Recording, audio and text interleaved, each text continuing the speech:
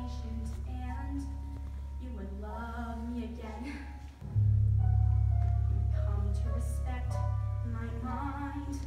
At last you find you could.